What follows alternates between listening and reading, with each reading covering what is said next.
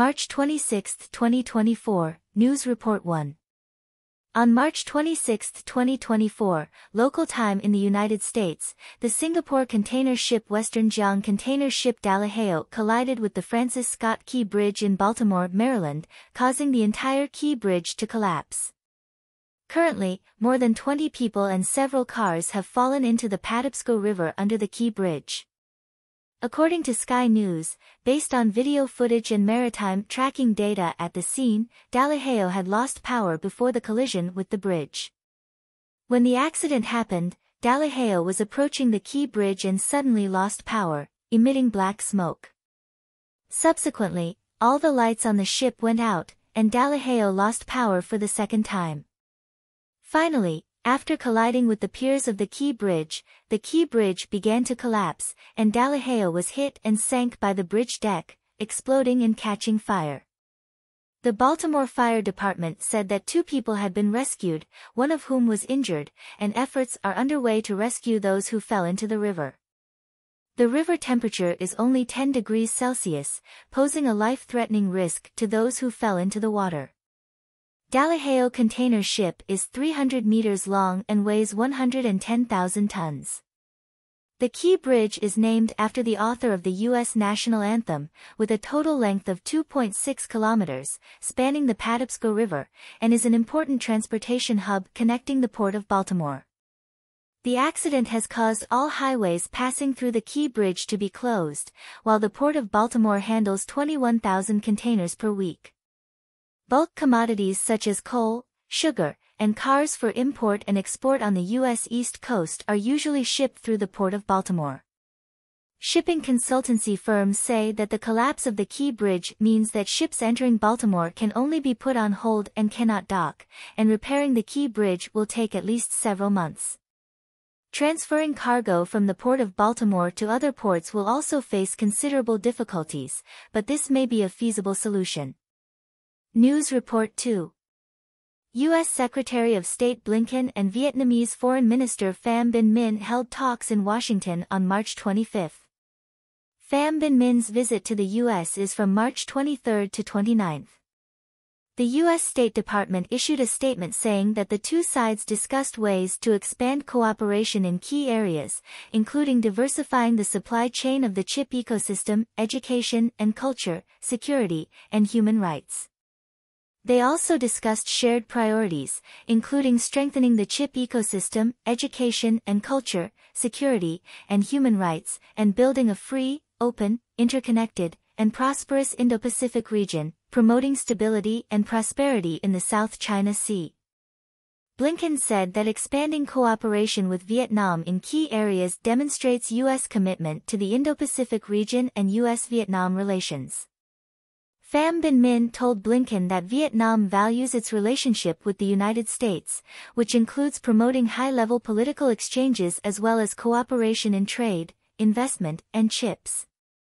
It is worth noting that in September 2023, U.S. President Biden visited Vietnam, elevating the relationship between the two countries to a comprehensive strategic partnership.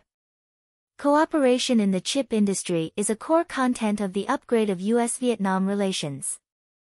News Report 3 Reuters reported that Chinese President Xi Jinping will meet with American business leaders in Beijing on March 27, as a follow-up to his meeting with American investors in San Francisco in November 2023.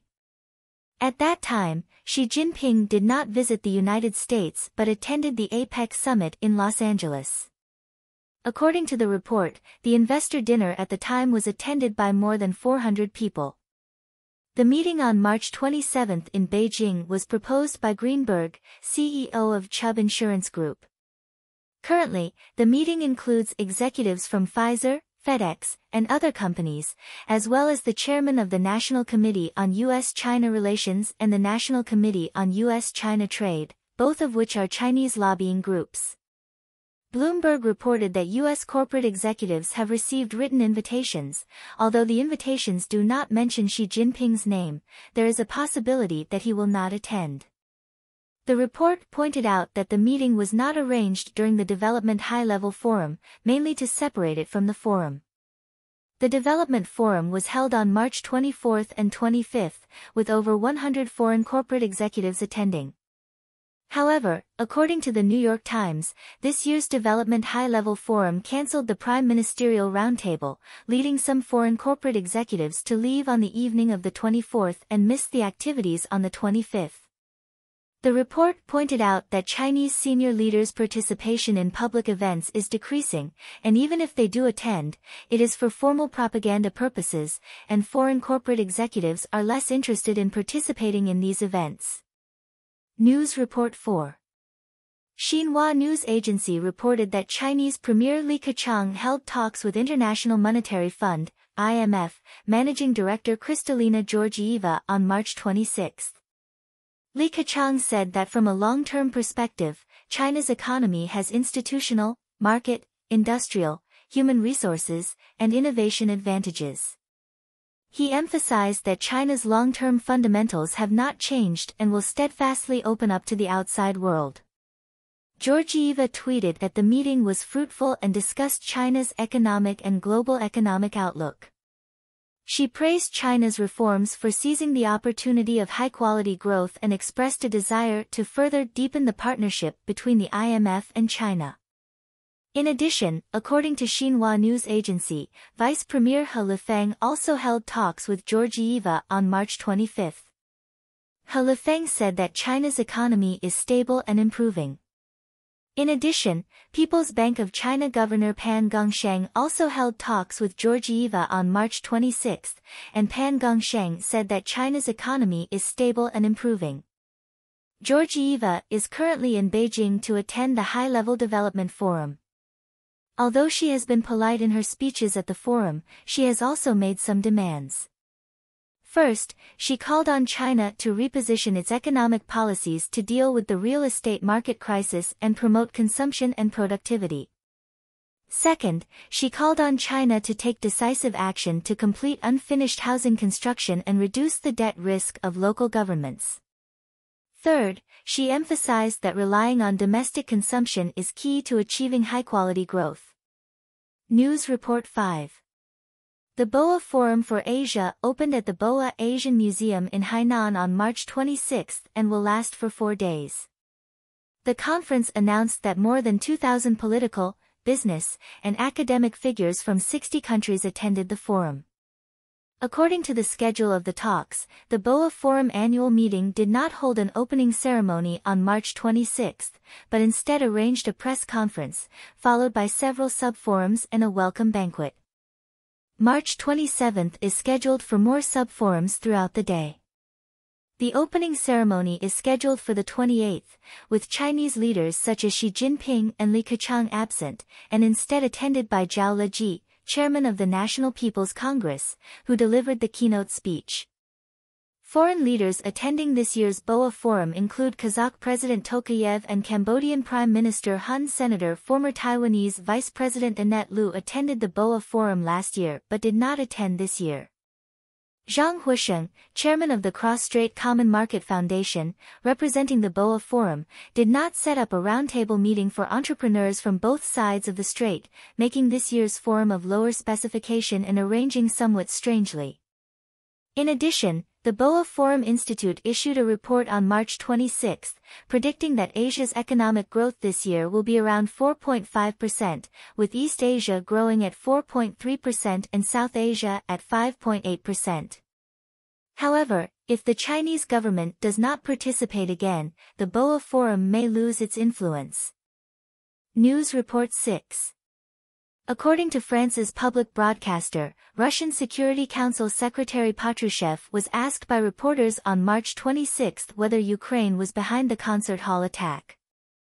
Patrushev said that the attack was undoubtedly carried out by Ukraine.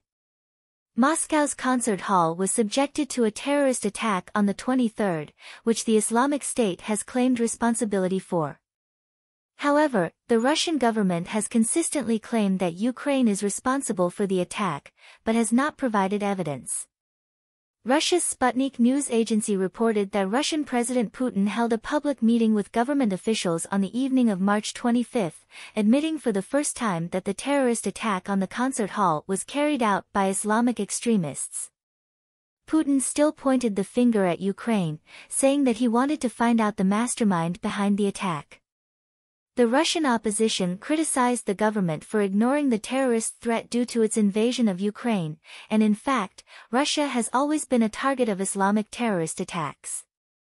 On September 1, 2004, Chechen separatist militants stormed a school in Moscow, killing 330 people, including 186 children. Additionally, the official Russian television reported that survivors of the Moscow concert hall terrorist attack retrieved their personal belongings from the concert hall on March 25, which were packed in numbered white, blue, and green plastic bags. News Report 7 According to the official website of the Taiwan Presidential Office, President Tsai Ing-wen went to Ilan on Tuesday, March 26, morning to preside over the commissioning ceremony of Taiwan's high-efficiency naval vessels Anji and Wanjiang. These Tuo River-class missile patrol vessels are independently developed by Taiwan and have a displacement of only 700 tons, with a cruising speed of up to 40 knots and equipped with Sung Fong 2 and Sung Fong 3 anti-ship missiles. These small, high-speed, and highly maneuverable vessels are not easily detected and are primarily used for asymmetric warfare against enemy warships and aircraft carriers.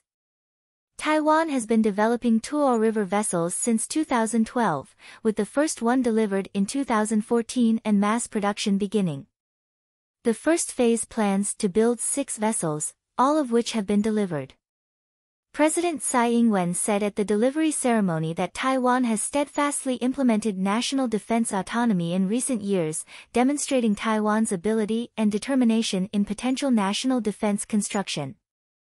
News Report 8 Radio Free Asia reported that the High Court of Hong Kong announced on March 26 that Hong Kong media tycoon Yu Pin Hai has gone bankrupt. According to reports, the Bank of Construction of Hong Kong applied to the High Court of Hong Kong for Yu Pinhai's bankruptcy in October 2023.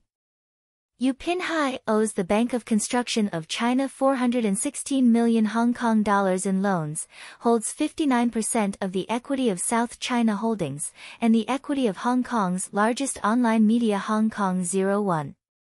The market value of these equities is estimated at 323 million Hong Kong dollars.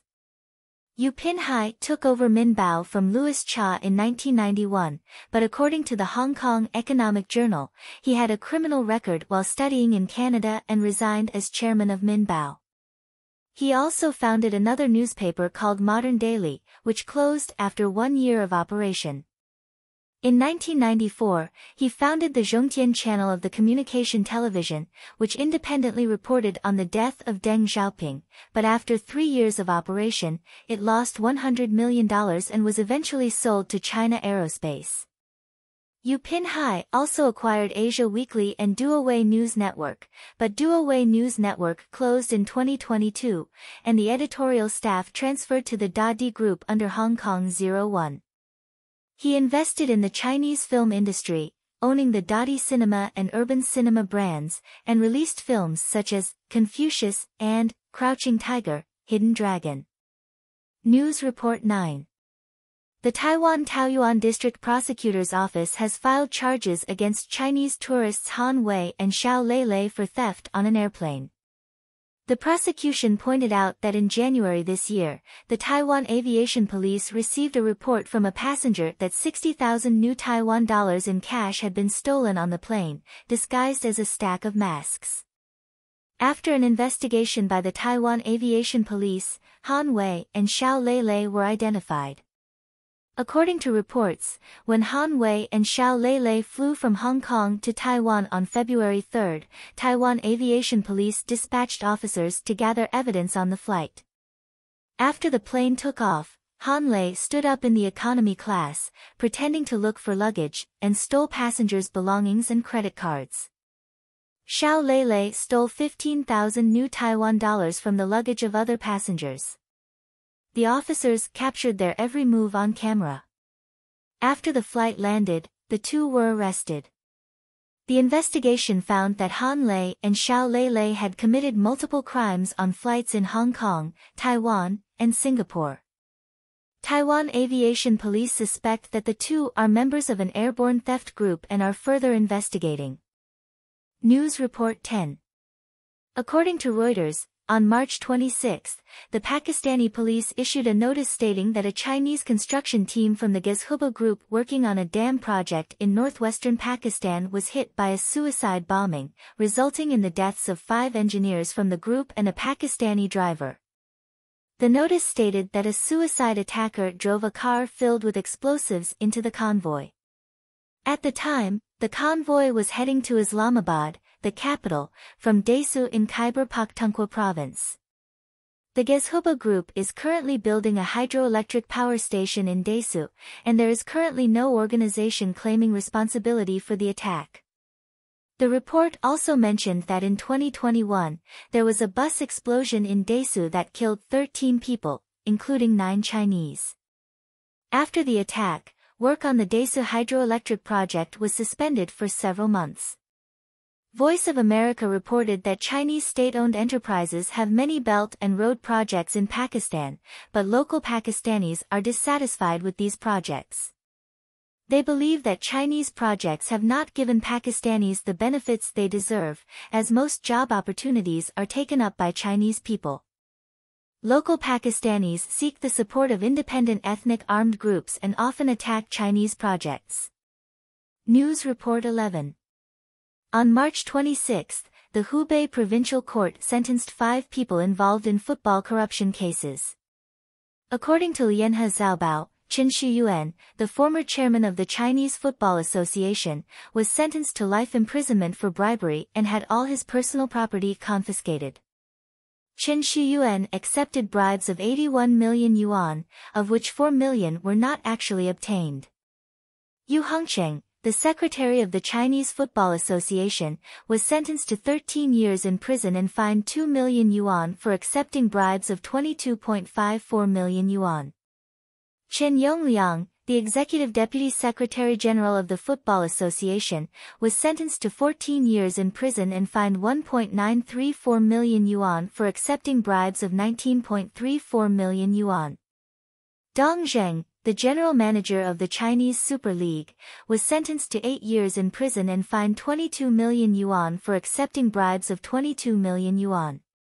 Lu Lei, the director of the competition department of the Wuhan Football Center, was sentenced to two years and six months in prison and fined 520,000 yuan for accepting bribes of 520,000 yuan. News Report 12 According to the Associated Press, Chinese Christian pastor Chao Sanxiang was detained in 2017 after returning from missionary work in Myanmar. In 2018, a Chinese court sentenced Chao Sanxiang to seven years in prison for the so-called crime of organizing others to illegally cross the border. After being released from prison on March 4 this year, Chao Sanxiang found that his household registration had been cancelled. Chao Sanxiang said that in 2006, while he was preaching in China, the police went to his hometown in Changsha and took his household registration book, saying they would update the information and return it later. However, he later found that his name had been deleted, losing his identity. Without a household registration in China, there is no identity card, and Chao Sanxiang cannot buy train tickets or receive medical services. Chao Sanxiang is outraged by the Chinese government's restrictions on him, believing it is a violation of human rights.